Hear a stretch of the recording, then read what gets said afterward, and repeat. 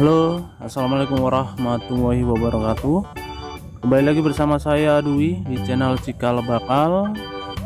Buat teman-teman yang sedang menonton Semoga teman-teman dalam keadaan sehat walafiat Dimurahkan rezekinya Dan dilancarkan segala urusannya amin. Dan buat teman-teman yang sedang sakit Semoga penyakitnya diangkat oleh Allah Subhanahu wa Ta'ala Amin. Jadi untuk video kali ini saya akan berbagi tips bagaimana cara mengatasi batok bonsai kelapa goyang ya? Seperti teman-teman lihat bahan bonsai kelapa saya batoknya goyang ya. Dan saya akan memperbaikinya. Untuk bahannya saya menggunakan kapas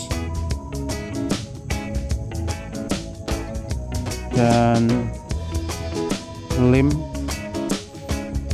lem setan ya atau lem Korea.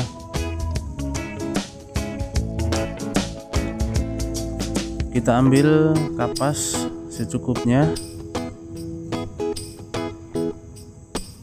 Kita bisa belah lebih kecil lagi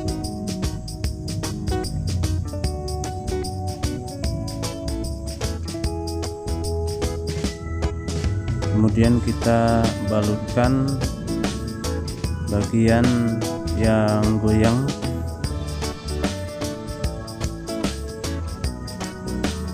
Terus kita rapikan dengan pisau ya atau alat lainnya yang bisa menjangkau ke sela-sela kecil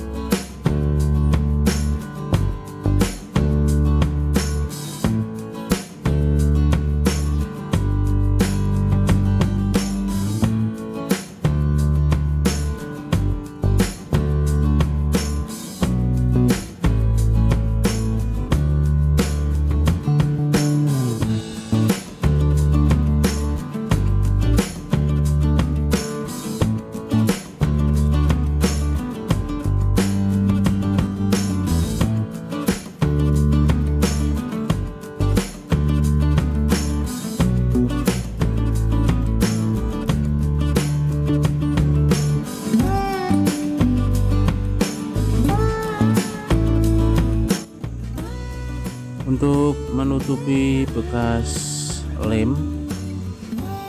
Saya akan melakukan pengecatan menggunakan litur cap boya masih ada sisa sedikit lumayan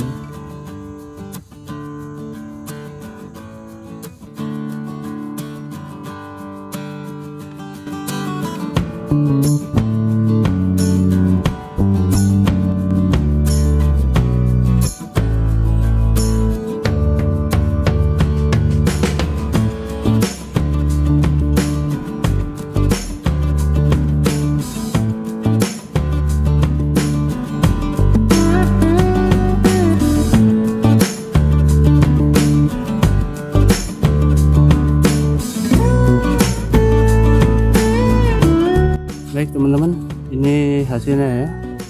Setelah saya lem dan menggunakan kapas kemudian saya litur ya. Dan seperti ini hasilnya lumayan rapi ya. Dan sudah tak terlihat lagi warna kapasnya saya rasa cukup video kali ini. Semoga bermanfaat buat teman-teman semua. Dan untuk pengecatan ini ada request ya dari anak saya. Dia akan mengecat dan mempercantik bonsai kelapa saya. Tunggu di video selanjutnya.